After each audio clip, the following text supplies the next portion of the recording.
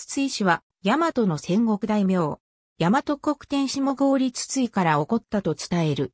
筒井氏は、大三輪神社の神官、大神氏の一族と言われている。筒井氏は、大和国天下郡筒井の土豪として、大和に勢力を持っていた。鎌倉時代以降、大和守護は、幸福寺が務めており、筒井氏もその首都として組み込まれるが、室町時代に大和影響の乱が発生。戦国時代に入ると、幸福寺の勢力が衰退し、大和四、家と言われる筒井氏、落ち氏、東地の氏、橋尾氏の勢力が台頭してくる。応仁元年の応仁の乱では、河内の守護大名である畠山氏の構想に巻き込まれて、大和国内は混乱する。筒井淳英は、畠山正長に協力して、畠山義成派の落家重らと戦ったが、息子の純尊は義成に敗れ衰退した。そのような中で、筒井氏の当主となった筒井淳公は英名で、大和国人衆の一人として、幸福寺に属しながら、落ち氏を滅ぼして、勢力を拡大し、筒井氏を大和の戦国大名として地位を確立した。天文4年に、準教は死去し、嫡男の筒井淳章が後を継いだ。淳章は、杉山城を本拠とする、木沢長政と連携して、落ち氏を圧迫。長政が没落すると、その勢力を大和より駆逐し、大和を統一。さらに、敵対関係にあった義理の兄重支援正と和解し、河内にもその勢力を伸ばし筒井氏の全盛期を築き上げた。しかし、淳章は天文19年に28歳で死去し、着難で2歳の筒井淳慶が後を継ぐこととなる。木阿弥の話はこの世代交代を舞台にしている。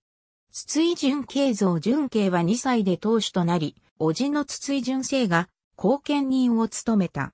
しかし純慶が幼少であるのを見て、三好長慶の家臣、松永久秀が大和に侵攻してくる。純慶は幼少で、しかも、純正も永禄7年に死去という悪条件が重なった筒井氏には、軍の統率が取れず、筒井城を久秀に奪われた。純慶は、大和から追放された。後に、久秀が、三好三人衆と対立した時には、三人衆に属して、大和奪回を目指したが、久秀の前にたびたび敗れた。このため、純慶は、織田信長の家臣となり、その後ろ盾をもって、信長の格将となっていた久秀から大和守護に任じられた。その後は、明智光秀の与力大名として、久秀討伐、一向一揆討伐などで活躍した。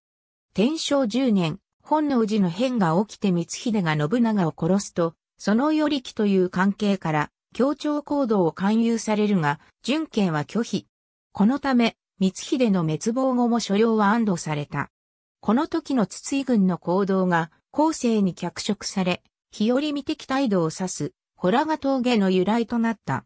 純慶は、天正12年に36歳で死去する。死死がないため、後を養子氏で重帝の筒井貞治が継いだ。貞治は、橋場秀吉の家臣として仕えた。中坊修介の残言を受け入れて、重臣の島政教と対立し、これを追放してしまう。さらに秀吉も大和には信用できる身内を置いておきたいという考えから、貞治は天正13年、伊賀上野に違法された。これは四国征伐の武功による画像と言われているが、実質は40万国から20万国もの原法である。このため、筒井氏は家臣の多くを改易し、伊賀の土豪をも潰していかざるを得なかったと言われている。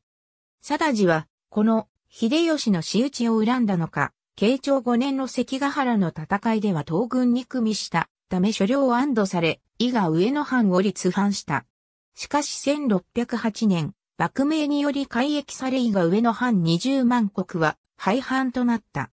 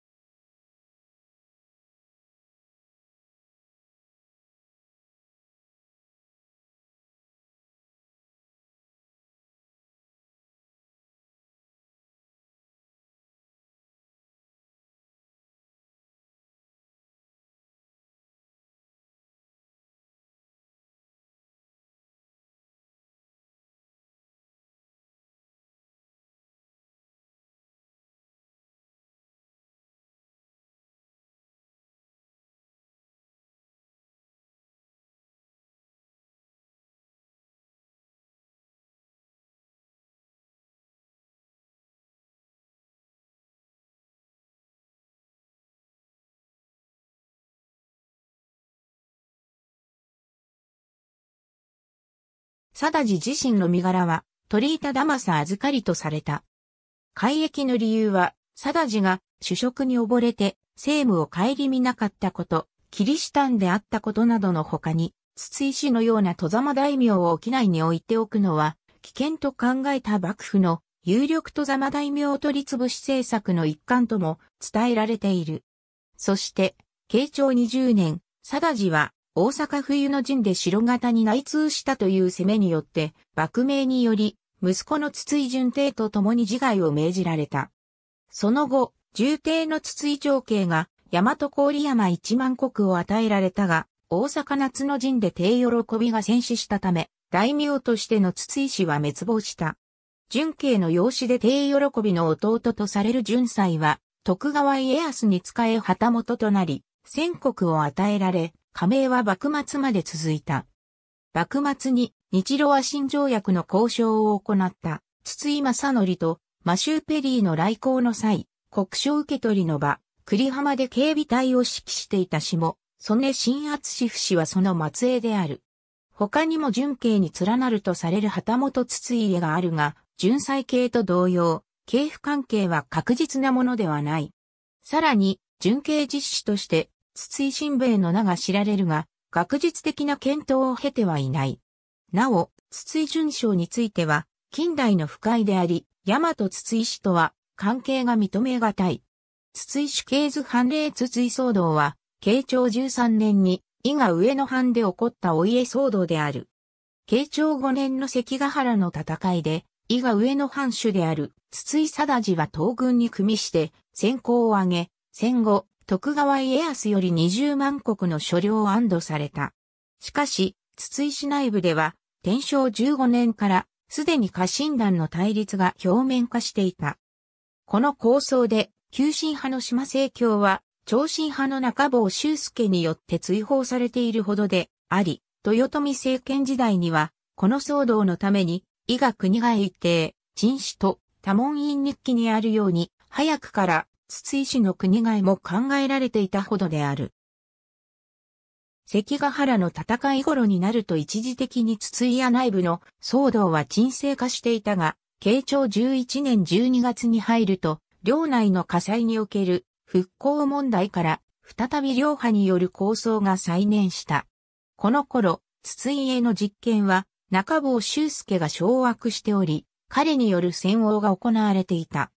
慶長13年6月、修介は駿府城の徳川家康に対し、主君の貞治の悪性や鹿狩りに熱中しての検体などを訴えた。これにより筒井氏は改易され、上野藩は廃藩となる。貞治と弱氏、順帝は道の食いは北平藩主、鳥居忠政預かりとなった。後に貞治は、慶長20年の大阪の陣で、豊臣氏と内通した罪により、切腹となった。